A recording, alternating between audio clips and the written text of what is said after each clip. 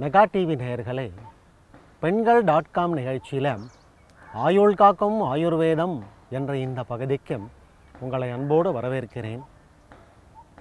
வாக்படர் அப்படிங்கிற ஒரு ஆயுர்வேத முனிவர் தான் இயற்றிய ஒரு நூலில் மனிதர்கள் ஆரோக்கியமாக வாழ்வதற்கான குறிப்புகளை குறிப்பிடும் இடத்துல மூன்று விஷயங்கள் தூண்களாக நின்று நம்முடைய ஆரோக்கியத்தை காப்பாற்றுகின்றன அப்படிங்கிறது அது என்னன்னு கேட்டிங்கன்னா ஆகாரம் சயனம் அப்ரம்மச்சரியம் என்கிறார். ஆகாரம் என்பது உணவாகும். ஏன்னா இன்றைக்கி அதில் எந்த விதமான ஒரு கருத்தும் இல்லாமல் மனிதர்கள் போன வயல இஷ்டத்துக்கு சாப்பிட்றாங்க. நல்லா கவனிக்க முடியறது. ஹோட்டல்லலாம் பார்க்குறோம் கண்டத்தையும் வாரி வலித்து திங்குறாங்க. அது கூடாது என்கிறார். ஆகாரம் சயனம் உறக்கம். அதுலேயும் இன்னைக்கு நிறைய மாற்றங்கள் வந்தாச்சு. ராத்திரியில் வேலை பண்ணுறாங்க பகலில் தூங்குறாங்க. இது ரொம்பவும் கெடுதல். எப்போவுமே மனிதர்கள் ராத்திரியில் தான் தூங்கணும். பகலில் தூங்கக்கூடாது ஒரு சில ந நிலைகளில் பகல் தூக்கத்தை பர்மிட் பண்ணுறார் அது என்னங்கிறது நான் சொல்கிறேன் அப்ரம்மச்சரியம் உடல் உறவு. கணவனும் மனைவியும் எப்படி உடவல் உறவு கொள்ள வேண்டும் எந்த நாட்களில் கொள்ளக்கூடாது அதனால் ஒரு குழந்தையானது நோயுள்ள குழந்தையாக பிறந்துவிடுமே அப்படிங்கிற ஒரு கருணையான உள்ளத்துடன் அவர் மூன்று விஷயங்களையும் எடுத்து கூறுகிறார். ஆகாரம் சயனம் அப்ரம்மச்சரியம் ஷரீரம் தாரியதே நித்தியம் என்கிறார். இந்த மூணும் தூண்களாக நின்று மனிதர்களை காப்பாற்றுவதாக அவர் குறிப்பிடுகிறார்.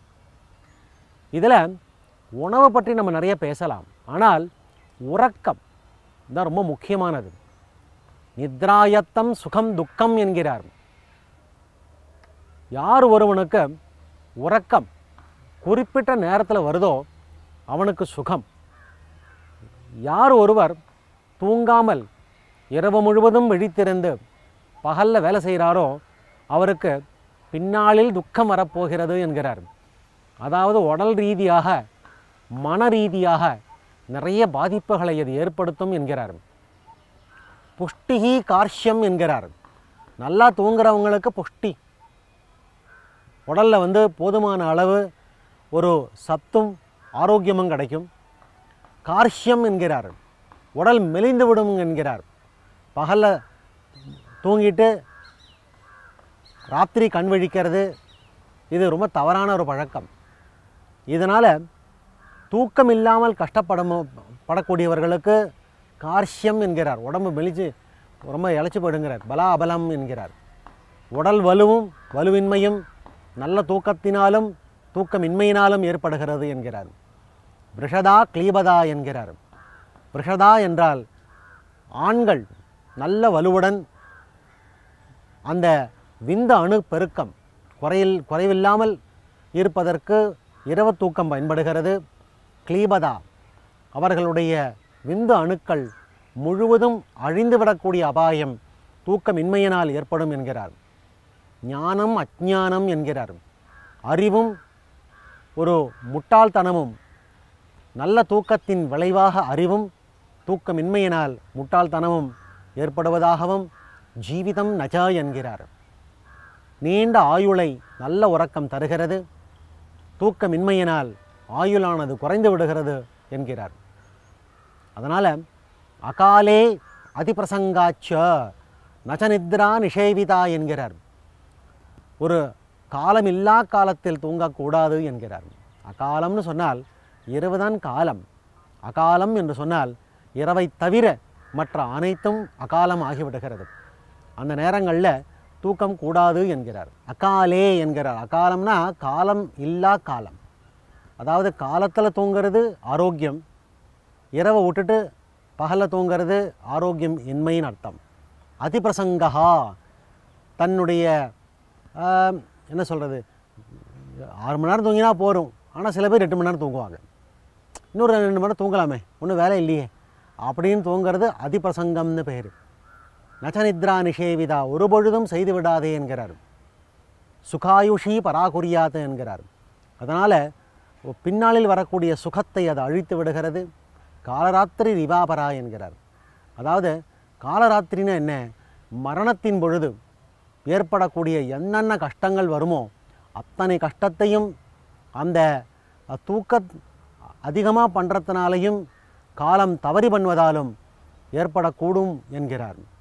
அதனால் ரொம்ப எவ்வளோ அற்புதமான ஒரு விஷயத்தை சொல்ல பாருங்கள் ராத்திரவு ஜாகரணம் ரூக்ஷம் என்கிறார். ராத்திரி நேரத்தில் நம்ம கண் விழித்து ஒரு வேலை பண்ணுறோன்னு வச்சுக்கோங்களேன். அதனால் உடம்பு வறண்டு போகும். ஸ்னிக்தம் பிரஸ்வபனம் திவா. பகல் நேரத்தில் நல்லா சாப்பிட்டுட்டு படுத்து தூங்கிறது.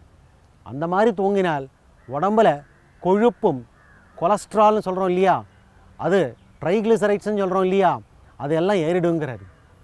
சாப்பிட்டுட்டு பகலில் படுத்து தூங்கக்கூடாது. ராத்திரவு ஜாகரணம் ரூக்ஷம். இரவில் கண் விழிப்பதால் வறட்சியும் ஸ்னிக்தம் பிரஸ்வபனம் திவா. பகலில் படுத்து தூங்கறதுனால நெய்ப்பும் உடலில் ஏற்படுகின்றன என்கிறார். அருக்ஷம் அனபிஷந்தி ஆசீன பிரச்சலாயுதம் என்கிறார். அதாவது உட்கார்ந்தனே தூங்குவாங்க சில பேர். உட்கார்ந்தனே தூங்கும் பொழுது அது வறட்சியும் தருவதில்லை அதிகமான அளவில் நெய்ப்பும் தருவதில்லை என்கிறார். அது நீங்கள் கேட்கும்போது நினைக்கலாம். பரவாயில்லையே படுத்து தூங்குறத விட உட்காந்து தூங்குறது பெட்டராக இருக்குமோன்னு. கிடையாது. எப்போவுமே படுத்து தூங்குறது தான் பெஸ்ட் அருக்ஷம் அனபிஷந்தித்து ஆசீன பிரஜலாயுதம். உட்காந்து தூங்குறது வறட்சியும் அல்ல நெய்ப்பும் அல்லங்கிறது. இத்தனையும் சொல்லிட்டு கிரீஷ்மே நல்ல வெயில் காலத்தில் வாயு செய்யாதம். நம்ம உடம்புல வாயுங்கிற தோஷம் அதிகரிப்பதால் அப்போது என்ன பண்ணலாம்? ஆதான ரௌக்ஷா என்கிறார்.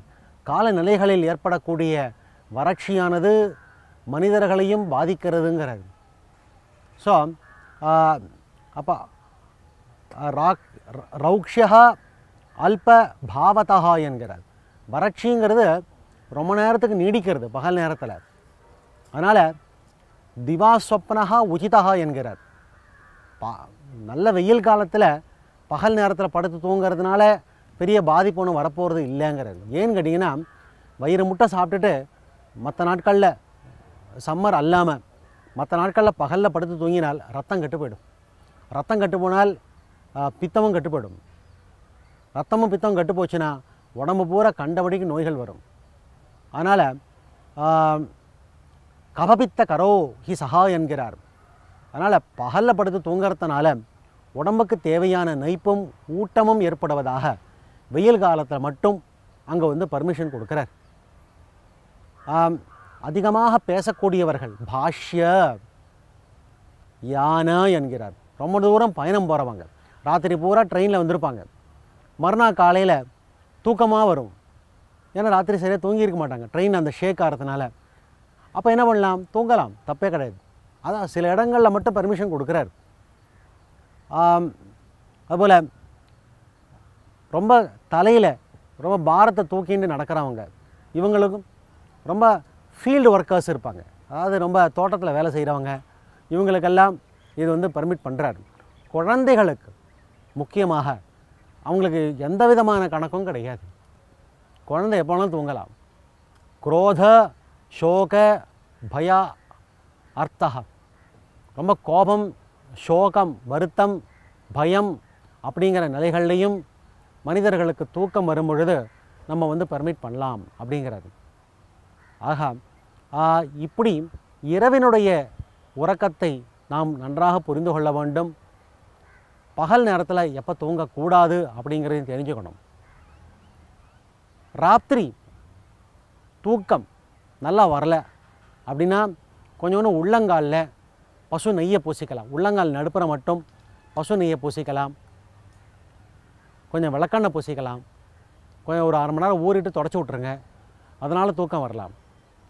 அதிமதுரத்தை நம்ம வந்து நல்லா பொடி பண்ணி கொஞ்சோண்டு வாழைப்பழத்தில் போட்டு கொஞ்சம் சீரகத்தையும் போட்டு சாப்பிட்டு பாருங்கள் நல்ல தூக்கம் வரும். வாழைப்பழத்துடன் அதிமதுரத்தூளையும் கொஞ்சம் இதையும் போட்டு சாப்பிட்றது. இது ரொம்ப தூக்கத்துக்கு நல்லா உதவி பண்ணும். அடுத்ததாக அதிரசம். அரிசியும் வெல்லமும் கலந்த பணியாரம். அதை சாப்பிடுவதாலும் தூக்கம் ஏற்படும். முக ஆலேபகா என்று சொல்லக்கூடிய முகத்தில் பூசக்கூடிய பூச்சுகளால் நல்ல உறக்கம் வரும் என்கிறார். அது என்ன? இப்போல்லாம் நிறைய பார்க்கல நீங்கள் இந்த இந்த குக்கும்பர் பேஸ்ட்டுங்கிறாங்க வெள்ளரிக்காய் நல்லா பூசிக்கிறது. ஆரஞ்சு பழ தோலை எடுத்து பூசிக்கிறது. இப்படிலாம் பண்ணுறாங்க இல்லையா? நிறைய களிம்புகள்லாம் வந்தாச்சு. ஃபேஷியல் ஃபேஷியல் பேக்ஸுங்கிறாங்க அதெல்லாம் பண்ணுறதுனாலையும் தூக்கம் நல்லா வருங்கிறாங்க. இந்த தூக்கம் அவ்வளோ முக்கியமாக இருக்குது ஆயுர்வேதத்துலேயும் சில மருந்துகள் நாங்கள் கொடுக்குறோம். மானசமித்திரம்னு ஒரு குளிகை கல்யாணக கிருதம்னு ஒரு நெய் மருந்து இப்படி எண்ணற்ற மருந்துகளையும் அந்த இடத்துல கொடுக்குறோம். சில சமயம் நம்ம உண்ட உணவு செரிமானம் ஆகாமல் கஷ்டப்படும். அந்த டயத்தில் மறுநாள் காலையில் நம்ம வந்து கொஞ்ச நேரம் படுக்கலாம். இடது பக்கமாக சரிஞ்சு படுக்கணும். அந்த படுக்கும் பொழுது வயிறு வேறு எதையும் சாப்பிட்டுட்டு படுக்கக்கூடாது அந்த உண்ட உணவு செரிமானம் ஆகிறதுக்காக இடது பக்கமாக சரிஞ்சு படுக்கணும். அப்போ என்ன ஆகும் கேட்டிங்கன்னா சீக்கிரமாக ஜீரணம் ஆகும் செரிமானம் ஆகிடுதுன்னா பசி வந்துடும் பசி வந்தால் அதுக்கப்புறம் கண்டினியூ பண்ணக்கூடாது தூக்கத்தை. எழுந்துக்கணும். இது ஒரு வகையான ஒரு ரூலையும் அந்த இடத்துல அவர் சொல்ல சொல்லியிருக்காரு. இன்னொன்று என்னென்னு கேட்டிங்கன்னா அஜீர்ணம் அஜீரணம். ரொம்ப நேரம் செரிமானம் ஆகாமல் கஷ்டப்படக்கூடியவர்கள் எப்போவுமே இடது பக்கமாக படுக்கிறது தான் ப்ரிஃபர் பண்ணணுங்கிறது. ரைட் சைடு கூடாதுங்கிறது. ஏன்னா ரைட் சைடில் தான் நமக்கு லிவர் இருக்குது கல்லீரல் இருக்குது இல்லை கல்லீரல் நீங்கள் ப்ரெஸ் பண்ணக்கூடாது. ப்ரெஸ் பண்ணி படுத்தீங்கன்னா சரியாக வராது.